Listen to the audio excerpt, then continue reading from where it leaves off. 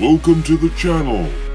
In the last episode, Canice picked up De Vrouwe Linda from SRF Boatyard in Harlingen and cruised across the Waddenzee in the Netherlands to his mooring in Makkum, Friesland.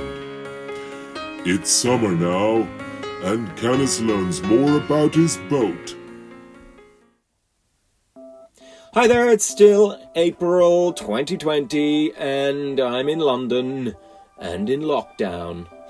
So again, we're looking back, this time early summer 2019 when I have my first in-depth look at what condition De Vrouwe Linda is in.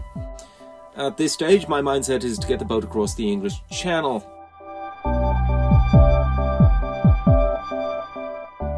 So, has the boat got electricity?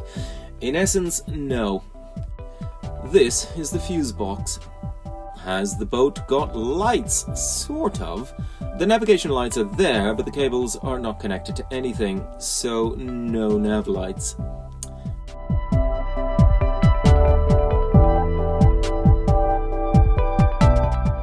Has it got gas for cooking? It's a long cruise to Calais through the canals of Europe. One might get a little hungry.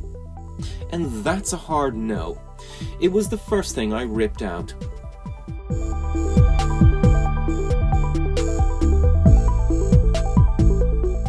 Has it got water? Nope. There is a water tank and a pump and plumbing, but as I found out later, the water has been sitting for four years, and mm, the tank needs an overhaul to put it mildly. So, what has it got? Water in the cabin bilge, oil in the engine bilge, and leaks everywhere in the roof, and the list goes on. I decided there were three things to do clear out the water, find the leaks, and get rid of the condemned mast as a priority. Nico, the owner of the mooring, hooks me up with mains electricity, and this is a luxury as for the last five years I've lived on my narrowboat with only 12 volt electricity.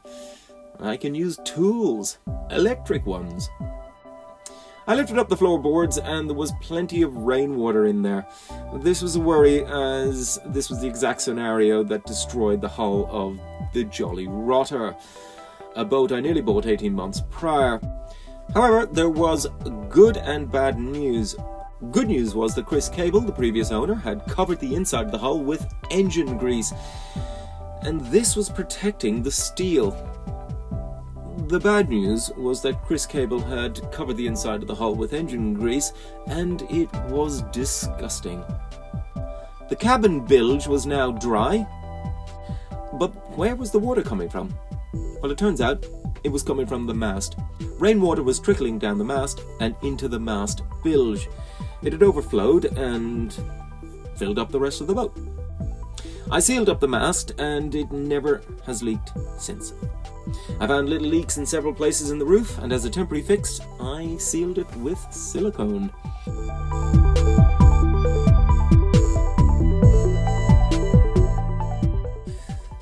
Next was the oil in the engine bay.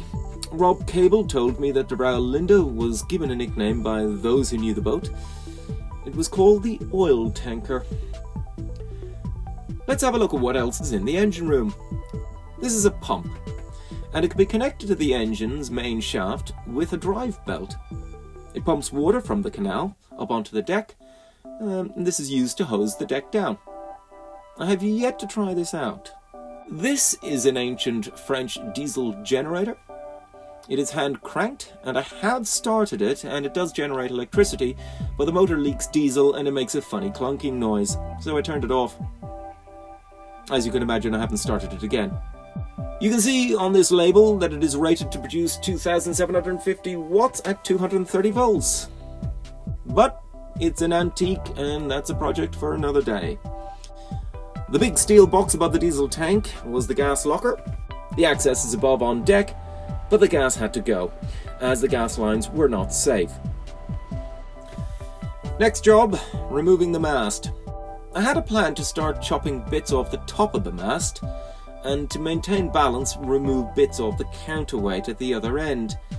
This didn't really work at all and I only ended up taking off those bits. So, that's as far as I got. Nico, my landlord, has a crane at his wharf 200 metres down the canal, and he would take it off with his crane. Nico is another wonderfully funny, generous Frieslander, and the plan was clear chop the counterweight off and lift the mast out. So off down to the wharf, and the mast was taken off and dropped into the water and tied to the side of the boat. During this period, several trips were made between the Netherlands and Britain, and I started to reassess my options. My original plan was to cross the English Channel by the end of the summer, but Rob Cable had another idea. Why not get a local carpenter, Tice, that's short for Matthias, to make a new mast? It was at this point I realised I had an opportunity here.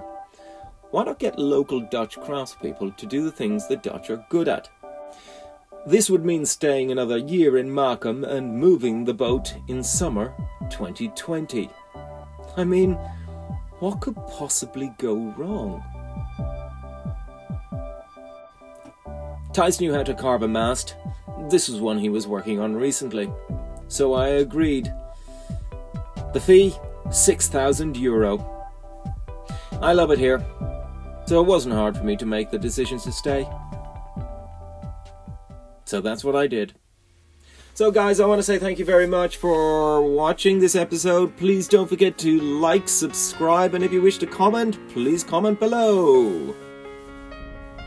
In the next episode, Rob and Tice collude and a plan is hatched. Canice and Rob cruise to the Rat in Snake and drop off his old mast to be cut up into floorboards and pick up the wood for the new mast. To see the rat in snake, tune in to the next episode.